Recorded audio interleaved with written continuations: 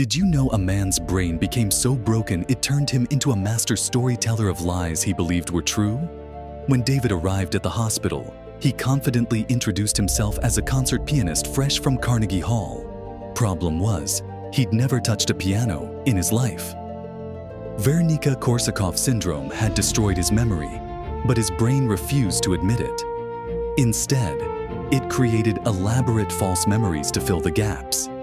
He recognized doctors as childhood friends, described meetings that never happened.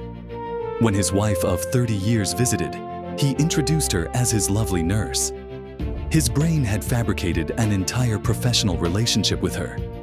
Each lie felt completely real to him. Soon, he claimed to own multiple businesses and important connections.